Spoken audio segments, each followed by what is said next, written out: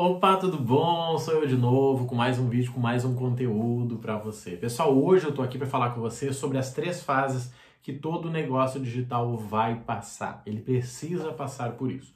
Só que você tem que estar tá ligado, porque senão você pode morrer no meio do caminho, tá? E eu falando agora, você já vai identificar aí qual é o processo que você tá e qual é o próximo passo que você precisa dar, beleza? Então, gente, lembrando que esse conteúdo que eu tô fazendo, tá? O tema, né, negócio digital, rotina, e por aí vai, é sobre o meu programa tá Rotina Digital, onde eu ensino você a ter um negócio trabalhando 4 horas por dia, tá? Um negócio digital e online com 4 horas por dia.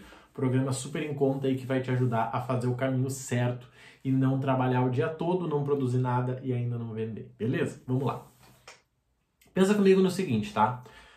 Todo negócio, ele tem que começar a partir de uma venda.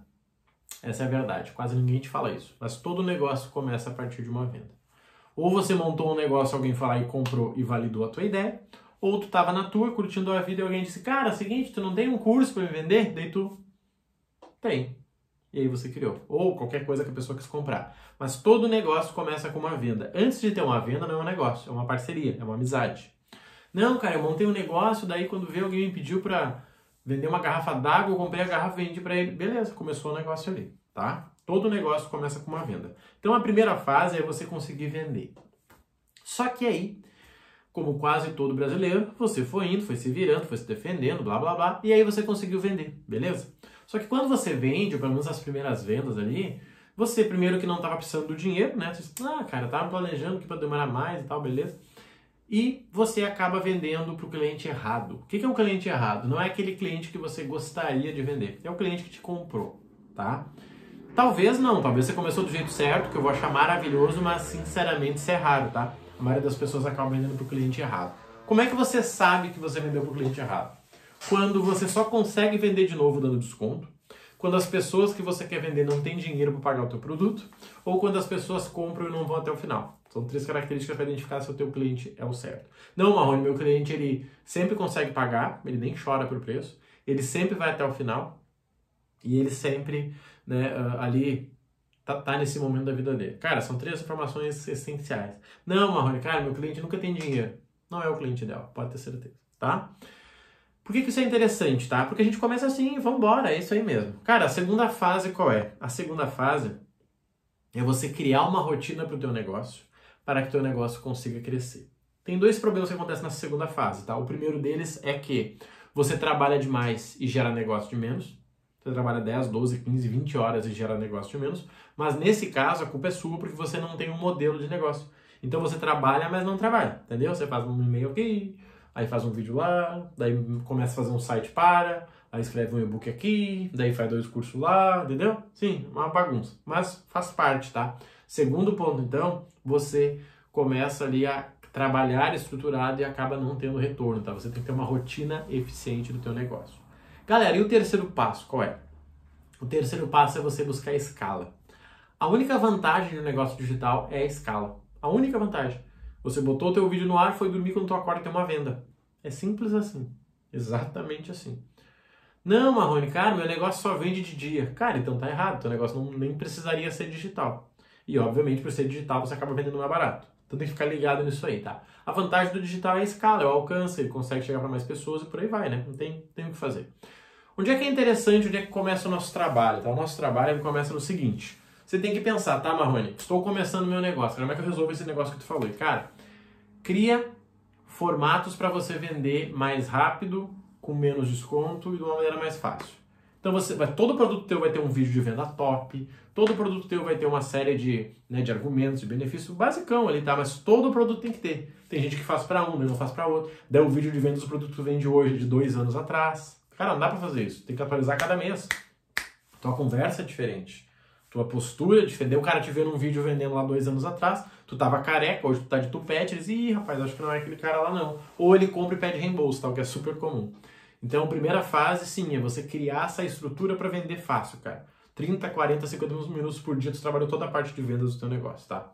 Segunda etapa é a parte de você ajustar a tua rotina, porque teu negócio não é só venda. Se você vender, você paga o resto, né? Você tem dinheiro para pagar, mas a maioria das pessoas não conseguem vender. Então você precisa criar um negócio, você precisa dividir o teu tempo Você precisa dizer para tua família, cara, é seguinte, ó, ou eu vou trabalhar 8 horas de casa, ou eu vou alugar um escritório, um co-work, eu me vou, porque o teu negócio é um negócio. O problema é que a gente acha que não é. Não, eu dou conta, eu trabalho aqui, daí meu filho tá lá, minha filha tá aqui, cara, beleza. Mas tu precisa considerar isso no teu dia. Cara, eu fiz muito isso, mas muito. Acorda às quatro da manhã quando tá todo mundo dormindo e volta a dormir, e volta a dormir não, né? E acorda o pessoal às seis.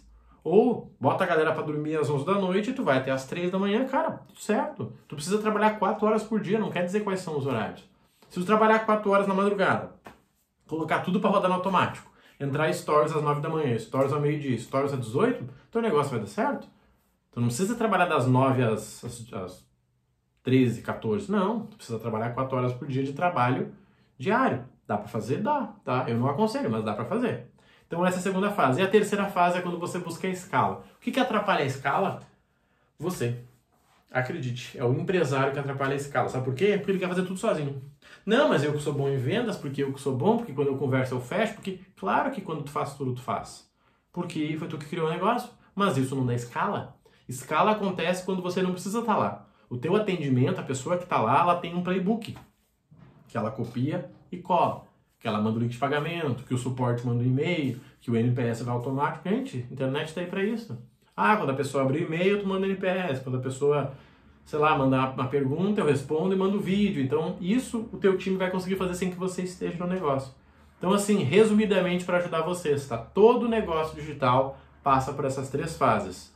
Conseguir vender para o cliente certo, conseguir criar uma rotina saudável para o teu negócio e conseguir escalar. Se você começar errado, você não vai conseguir vender para o cliente certo. Você só vai vender com desconto, só vai vender no boleto, só vai vender na promessa, o teu cliente nem chega até o final, ele não vira case de sucesso. Isso é porque não fechou, tá? Eu sempre dou um exemplo muito ridículo, tá? Mas funciona. Cara, imagina eu indo na Porsche, tá?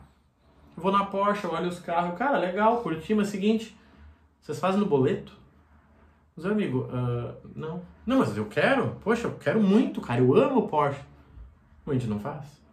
Isso acontece no negócio, né? O cara diz, não, mas eu te amo e te acompanho. Ah, então eu vou vender para ele, né? Daí o Porsche estraga, ele deixa o carro parado lá ou quer devolver porque não tem dinheiro para manutenção. Mesma coisa com você. Você foi lá e vendeu o boletim de 200 reais pra pessoa. Uhul, show de bola. Daí acontece qualquer coisa na vida da pessoa, ela para de fazer o curso. Daí tu, oi fulano, o que que houve? Pois é, cara, ah, deu um probleminha aqui em casa, tem que parar. Nunca vai dar certo um negócio desse que não tenha resultado, tá? Então fica ligado nisso aí. É bom vender, claro que é bom. Você tem que vender pro cliente certo senão ele te traz estresse, dor de cabeça e ele quebra o teu negócio. Ou ele arruína o teu negócio, teu modelo de negócio atual, tá? Fase 2 então é a rotina, cara. Como eu disse, eu já fiz da meia-noite às três da manhã, já fiz das quatro da manhã às seis. Já fiz, super tranquilo, super normal. Não aconselho, mas é o começo e faz parte. Só que tem que ser quatro horas de trabalho. Cara, pega um cronômetro e liga. Pá, e vai trabalhar. Faz aqui, faz ali, faz vídeo. Olha, poxa, trabalhei duas horas. Legal, tem mais duas horas para trabalhar. Faça isso, gente. Eu, eu, eu te desafio. Liga um cronômetro no teu computador e deixa rodando ali.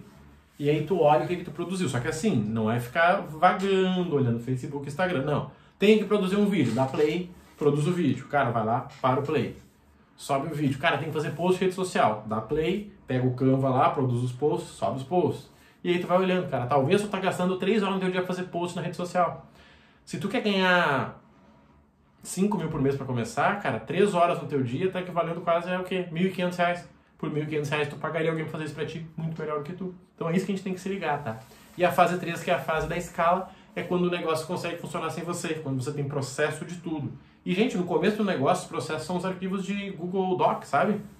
Tem um documento aqui, uma planilha ali, tem os links de pagamento lá, é muito simples, a pessoa só pega e manda pro cliente, olha, o link tá aqui, as informações são essas, o site tá aqui, então dá para fazer um negócio, só tem que começar do jeito certo, tá, galera? Então é assim que eu ajudo, tá? As pessoas e as empresas a começar um negócio digital aí do jeito certo, tá? trabalhando 4 horas por dia. Reveja o vídeo, veja onde você está errando, comenta aí se tu já está numa dessas fases, compartilha, curte. Se tu quiser saber mais sobre o programa, vai ter aí na descrição também, tá bom? Valeu, um abraço e até mais.